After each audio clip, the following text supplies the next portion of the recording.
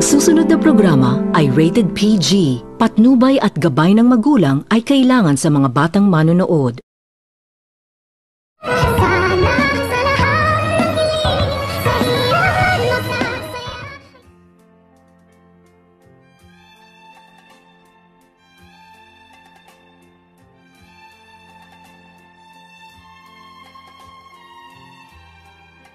Pagkatapos nitong kausapin ni Madam Lutos itong si Moira ay umalis na itong si Madam Lutos at pinagbantaan nito ni Madam Lutos itong si Moira na wag umano itong gagawa muli na gustong tatakas sa kulungan dahil hindi umano ito magtatagumpay sa kadahilanan.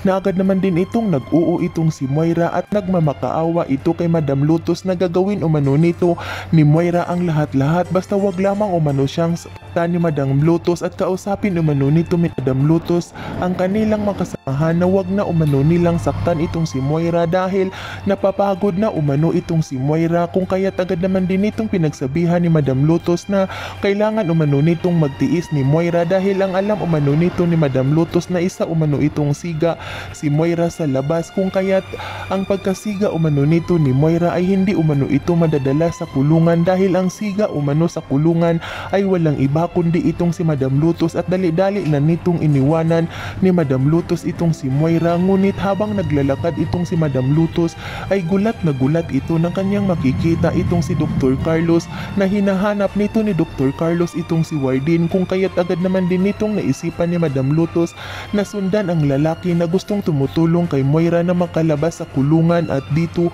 gulat na gulat itong si Madam Lutos nang magkaus nang magkaharap na itong dalawa itong si Dr. Carlos at itong si Wardin ay gulat na gulat din itong si Dr. Carlos nang kanyang makikita na itong si Wardin ay niya palang kapatid sa kadahilanan na agad naman din itong pinagsabihan ni Dr. Carlos itong si Wardin na kailangan umano nitong tulungan ni Wardin itong si Dr. Carlos kung kaya't napanganga naman din itong si Madam Lutos habang tinitingnan nito ni Madam Lutos itong dalawa na nag-uusap at hindi ito makapaniwala na itong si Dr. Carlos na gustong tumulong kay Moira na makalabas sa kulungan ay kapatid pala umano ito ni Warden sa kadahilanan na agad naman din itong nangamba itong si Madam Lutos na may pag-asa umano na makalabas sa kulungan itong si Moira dahil paninigurado umano na tutulungan ito ni Warden kung kaya't agad naman din itong nakapag-isip-isip itong si Madam Lutos na kailangan umano nitong bantayan ni Madam Lutos itong si Warden upang hindi umano nito patatakasin ni Warden itong si Moira at delikado umano ang buhay ay ni Giselle kapag makatakas umano sa kulungan itong si Moira dahil nagsalita umano itong si Moira na paghigantihan umano nito ni Moira ang mga tao na nagpakulong sa kanya. Yan ay ating aabangan sa susunod pa na pangyayari sa kaganapang ito ng abot kamay na pangarap.